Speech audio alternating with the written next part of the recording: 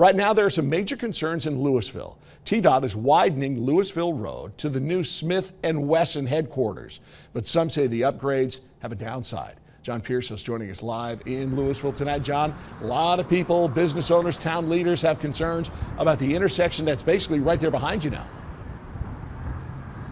Yeah, Ted, that's right. Right behind me right now is where Topside Road meets Louisville Road, and just up Louisville Road a little bit, about a mile and a half away, is the Smith & Wesson headquarters. Now, TDOT has a plan that would expand Louisville Road a little bit uh, to make for easier truck access going to and from the plant, and that's what a lot of people have concerns about.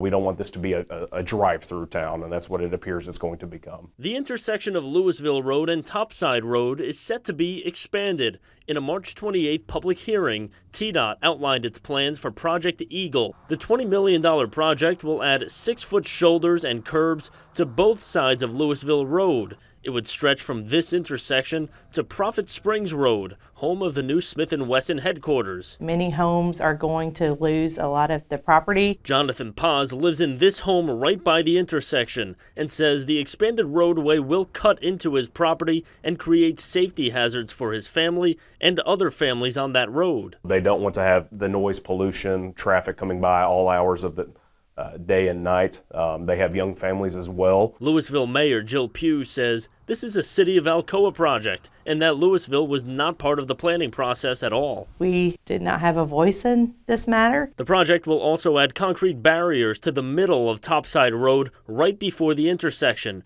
preventing people from making left turns in and out of some small businesses. This is very hurtful to our small businesses, also our post office. The mayor is encouraging concerned residents to fill out a comment card at Town Hall by April 18th. Those comments will go to TDOT.